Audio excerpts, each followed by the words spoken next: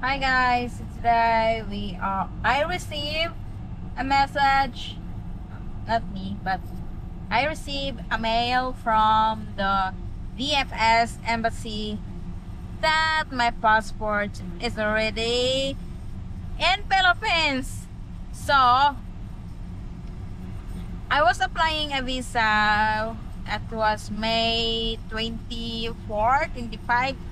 Between there guys, So, madali lang naman. Mm. Kasi, sinesend nila sa Manila. Pagkatapos, yung Manila, na-shock ako bakit ang tagal. Kasi, alam nyo, before kasi, sobrang dali lang. So, ngayon, sobrang tagal na, na ano, nakareceive ako ng message or email. Sobrang tagal. Kasi nga pala, hinintay nila yung ibang mga taong sigurong nag-apply tapos sinesend nila sa Bangkok all together so sinesend nila yon sa Bangkok last June 13 so tapos nag-update naman yung uh, BFS na Bevis ng Bangkok na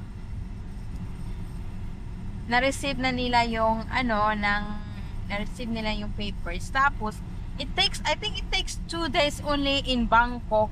Tapos, tapos yung Bangkok, takes two days lang nila ni, nire-review yung visa ko. Kasi yung Bangkok ang nag-approve doon sa Bangkok, sa Thailand. Tapos, sinisend na nila ulit dito sa Pinas. Two days lang. Medyo mabagal talaga itong Pinas, no? Pero okay na lang din kasi baka nga lang na naghihintay pa hinihintay nila yung mga ibang mga taong nag-apply ng visa para na rin ma all together na yung pag pag send ng mga application doon sa Bangkok. So ayan. So sabi eh yung visa ko eh papunta na daw sa Cebu. Sa Cebu, sinesend na papunta sa Cebu. Pero sabi ko naman sa visa na nang nag-apply ako ng visa, doon sa Cebu na dyan lang yung visa ko sa Manila kasi ako lang mismo ang kukuha ng visa ko sa Manila kasi pupunta lang naman ako ng Manila. Uh, ayaw ko nang ipasend pa ito sa Cebu kasi paano na ko naman kukunin yung visa ko. Kaya tumatawag ako ng ng embassy, ay embassy o BFS or embassy tinawagan sila ko sila today. Tinanong ko kung nasaan na ba talaga yung visa ko, visa ko, either nasa Cebu or nasa Manila para naman para din ma alam nyo, para ma para maka-decide ako kung pupunta ba akong Cebu.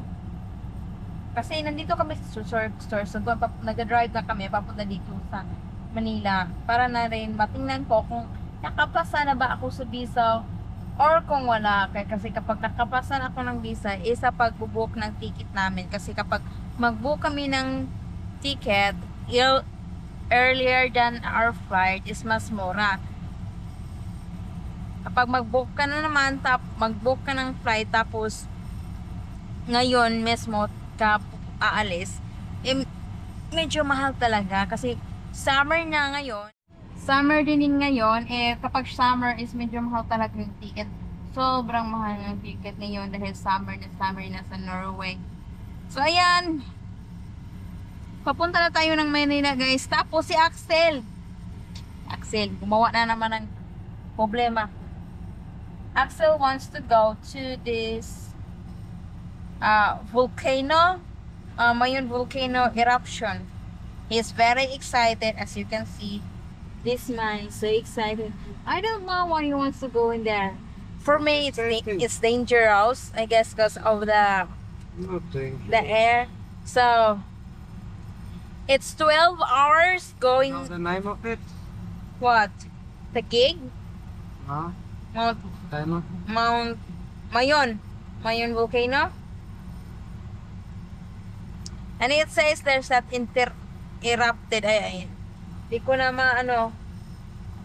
Mayo? Mayon.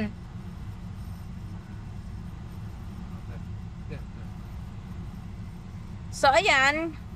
12 hours tayo pupunta. galing kami dito sa Sorsogon, tapos papunta kami ng Maynila, eh, 12 hours and 30 minutes.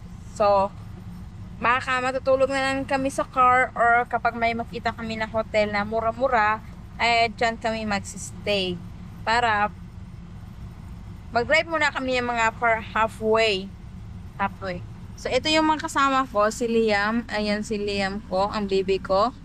Ayan, ang baby ko. Ang hirap pala, no? Sobrang hina ng internet dito sa tag, for, some parts sa Sorsogon. Nagsistay kami dito malapit lang sa sa SM. Medyo mahina. Si, grabe, sobrang hina talaga yung internet nila. Hindi ko alam kung naghanap kami ng internet o hanggang ngayon hindi, wala talagang internet o paano yan? You never download?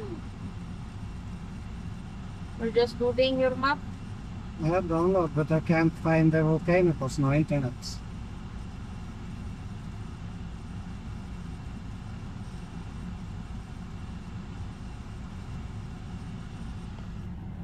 So, ayun na guys. Tara na. Sobrang pero in fairness ha, sobrang ganda, ganda at less traffic dito sa Sorsogon. Yung mga kasala nila. Sobrang flat. Tapos, less traffic. Tapos maganda din yung kalsada nila. Tingnan nyo nga Mark. Kalsada nila ko. Wait lang na! Papa looking for the map. Galit na galit na si Liam kasi gusto na niyang mag ano, umaandar. Nagbabasa pala si Liam oh. Habang kami nagda-drive, si Liam inat nagbabasa sa kanyang libro. Tingnan nyo lang sa kanyang, meron kasing page na si Liam, ah, Liam Dog, ginagawaan ko sila niyang page. Kasi, yung mga memories niya, doon niya ilalagay. Ayun, nagbabasa siya. Tingnan nyo sa Facebook page ni Liam.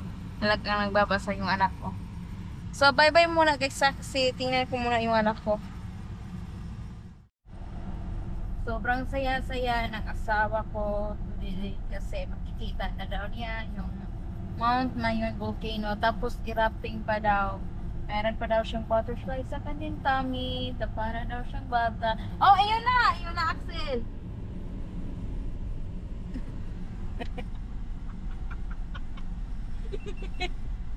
We're getting close now, guys.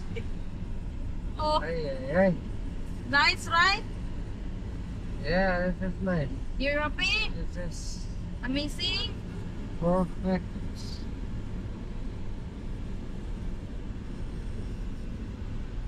Yeah, this is great. It, It is very beautiful. Ah, it's already, almost there, honey. Yeah, we are. But it's, But I guess we can't get so very close today, but I'm gonna go as close as I can anyway. I told you we can ride. Make some uh, reels and a contest and obviously gonna be a very low price, like 100 peso price, because that's gonna be guessed right away, right? What you gonna say? What's the name of the volcano? Easy money for the first one, yeah. Anyway, just a small contest.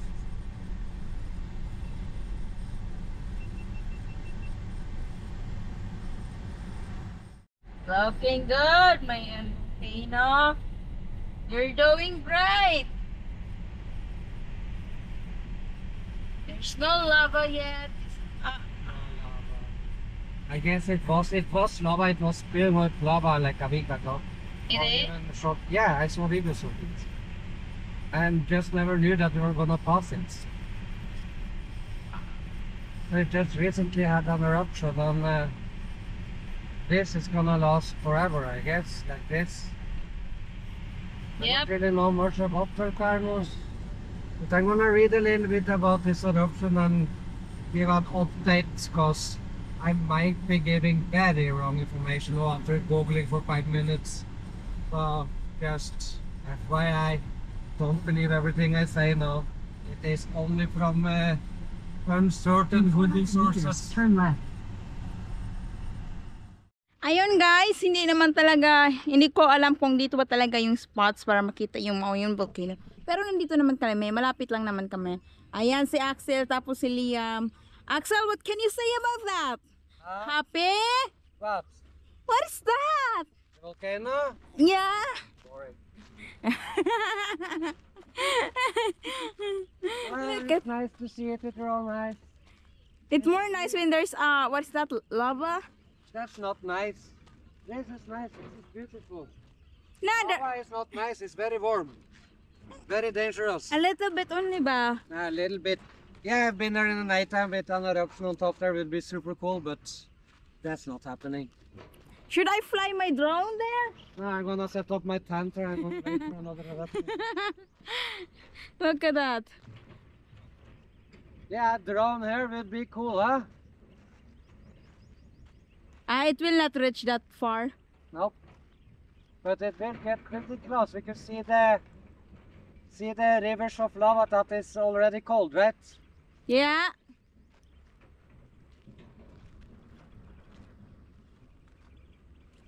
There is Liam, oy. But Look this is one of the few times where I miss my focus on camera, right? You could have zoomed in. Yeah, it's okay. We can't travel to get this trend for easily. Is way too already, too expensive. Liam! Look at the mouth of Liam. So warm? That's why Liam naked. It's very warm. It is. It really, truly is very warm. So look at the view. This, here is people doing some digging, construction, something. Yeah, something, something. something. And I can put my camera like this, stand in my because I have camera that has a stand. Need tallest you can get. Oh!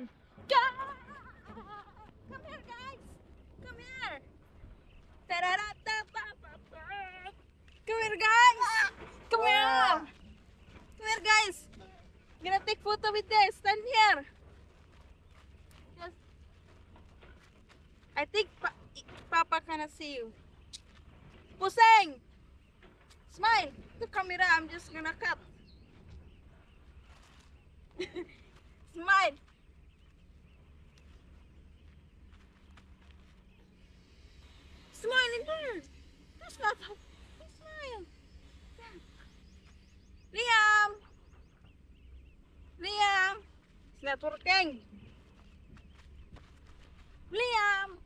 here. Three, two, one. Like that. Happy birthday to you. Happy birthday to you. Mm. Okay. Okay. See? Ah.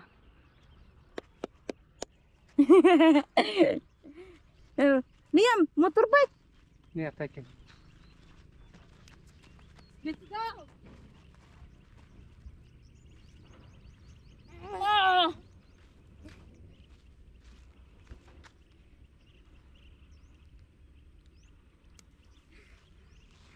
Bye guys, let's go to Manila. Bye bye. Say bye bye. Bye bye. Say bye bye. Mm. Bye bye. bye. bye bye. up here. Up here.